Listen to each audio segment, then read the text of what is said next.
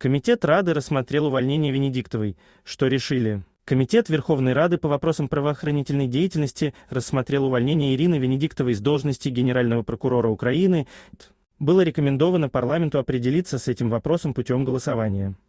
Об этом сообщает РБК Украина со ссылкой на сообщение народного депутата Ярослава Железняка в Телеграм. За проголосовали 12 членов, воздержались 5, а против 1.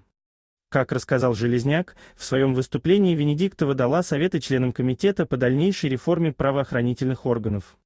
Это было красивое прощальное слово профильному комитету. Без обвинений и политики написал нардеп. Как цитирует ее Железняк, генпрокурор заявила, «Я достойно пришла на эту должность и достойно уйду. В отношении меня ни у кого нет ничего».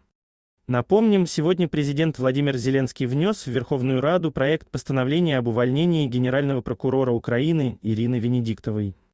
Добавим, после отстранения Венедиктовой Зеленский назначил Алексея Симоненко исполняющим обязанности генерального прокурора. Между тем, недавно стало известно, что Верховная Рада уволила Ивана Баканова с должности главы службы безопасности Украины. Подписывайтесь на наш YouTube-канал, чтобы оставаться в курсе важных новостей. Также под видео вы найдете ссылку на скидки на AliExpress.